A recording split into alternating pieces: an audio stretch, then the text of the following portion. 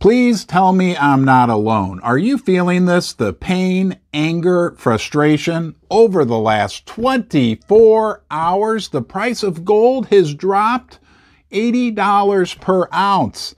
What about silver? It's down almost $2 per ounce, almost 8%. This is a painful 24 hour period, no matter how you slice it or dice it. Now, what is the reason behind this precipitous fall in the price of the precious metals?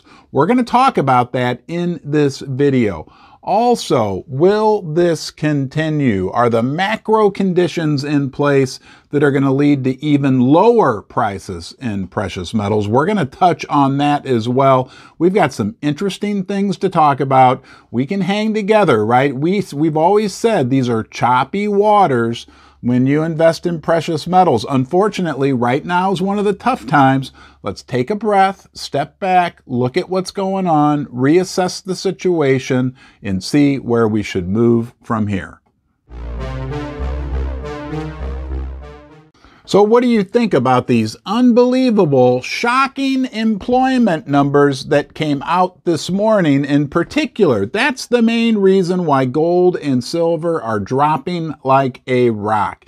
And these numbers were shocking. The number of jobs created in December came in almost three times higher than what was expected. I think 185,000 jobs were anticipated to have been created, and the government is telling us they created well over a half million jobs. We'll touch on whether or not those numbers are accurate toward the end of the video, but first let's talk about why good job numbers alone could cause the price of precious metals to drop. I mean, it doesn't really just on the surface make sense. So School's in session for just a few minutes. This is a key concept that anyone, yes, you and me, invested in precious metals needs to understand.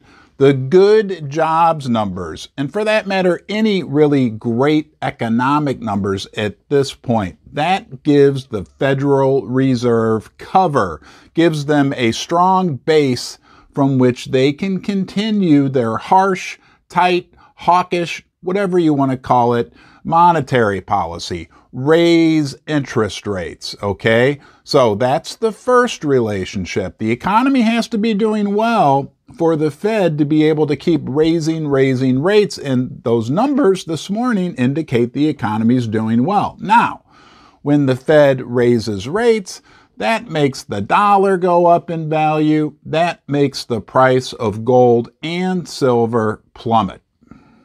Days like today, it's tough for us to be precious metals investors. Yes, I'm smiling, but trust me, I'm experiencing much angst and pain on the inside. So if you are too, you're not alone. Remember, you can always come here to Ron's Basement. We'll navigate these choppy waters, and they're choppy right now but we'll make it through and we can do it together. If you enjoy my content, please subscribe to the channel, give the video a thumbs up. You can share it with anyone you like. Let's get back to the video. It's all based on market expectations, and it's important we also realize the opposite is true. If unemployment starts to creep back up in the future, if the economic numbers start to come in much lower than expected, if we head into a recession, that will be very good for the price of silver and gold because that will signal then that the Fed is going to have to loosen up, become more dovish, print more money, however you want to say it. And that is very, very conducive to the price of silver and gold. Think about it like a person out running, out jogging, right? And they're running into the wind, okay? What happened in the last 24 hours is the wind speed picked up significantly.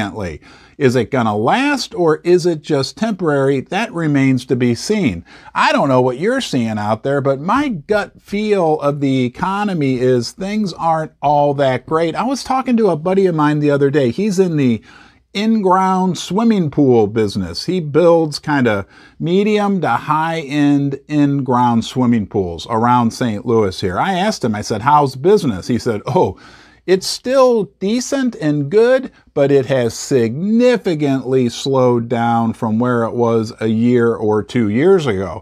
Back then, he was telling me that it would take a year to a year and a half before they would even start digging to build a new pool. Now they can pretty much start immediately when they get a new order. So things are slowing down. You're seeing it and hearing it at car dealerships.